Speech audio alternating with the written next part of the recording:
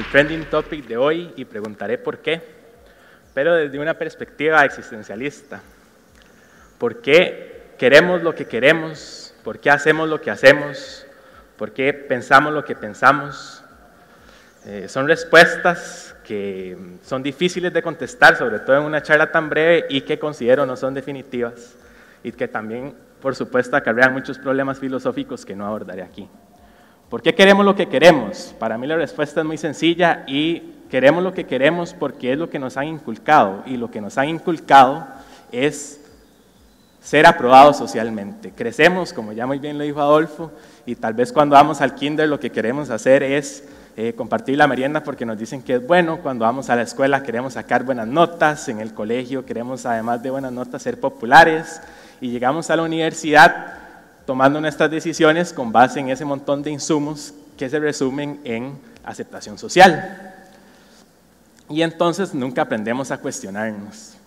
A pesar de que estos parámetros sociales sean aprobados y nosotros nunca los cuestionemos y los aceptemos y los promulguemos, eso no significa que estos parámetros sociales sean adecuados o estén bien. Después me pongo a pensar, bueno, ¿y por qué hacemos lo que hacemos? Pues lo hacemos por aprobación social. Lo hacemos nada más por aprobación social. Como decía Nietzsche, lo que nosotros hacemos cuando vamos a interactuar en una plaza, decía él, que era el lugar donde interactuaban las personas en sociedad en los tiempos que él escribía, decía que él veía que las personas bajaban de sus casas a la plaza y se ponían una máscara.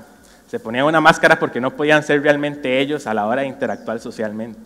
Y yo creo que esta máscara a veces a nosotros se nos encarna y nosotros, en el lugar de refugiarnos en soledad y saber quiénes somos, se nos encarna esta máscara y aprendemos a ser unos actores de por vida sin cuestionarnos nunca qué es lo que nosotros queremos.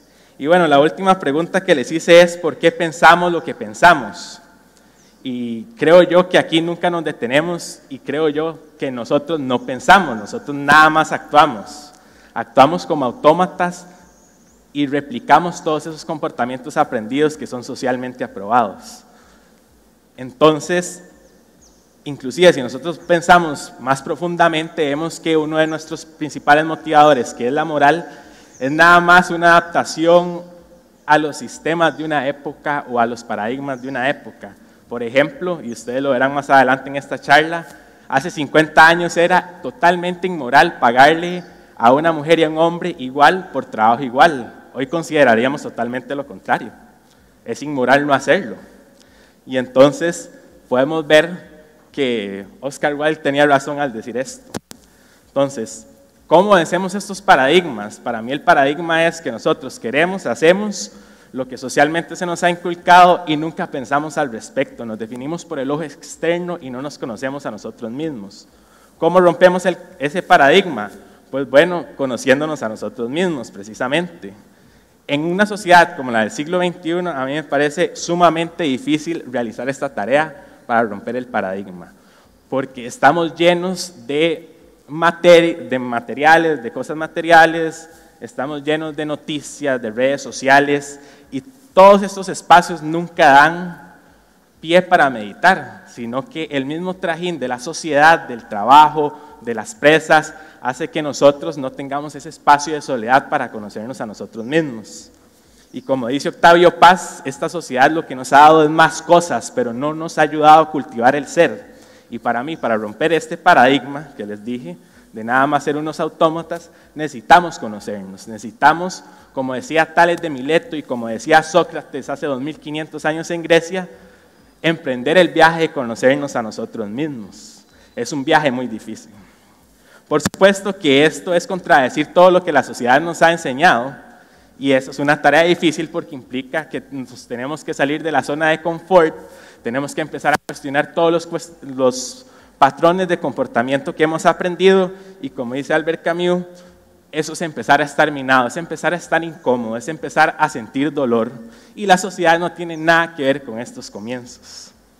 Finalizo con una de las más famosas historias de la filosofía, que es de Platón, que es el mito de la caverna, en donde él dice que los habitantes de esta caverna pensaban que las figuras que veían a raíz del fuego, o sea, las sombras, eran sombras, o sea, eran personas o representaban a personas reales porque ellos nunca habían salido de la caverna y no conocían el mundo exterior.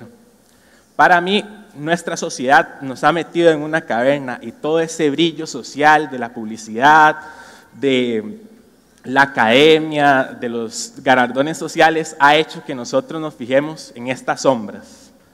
Y creo yo que la única manera de salir de esa caverna es a través del pensamiento y del autoconocimiento, como ya les dije que decía Tales de Mileto y Sócrates. Entonces finalizo esta charla con una pregunta. ¿Quieren ustedes seguir en la caverna o quieren empezar a pensar para ver si podemos salir de ella? Muchas gracias.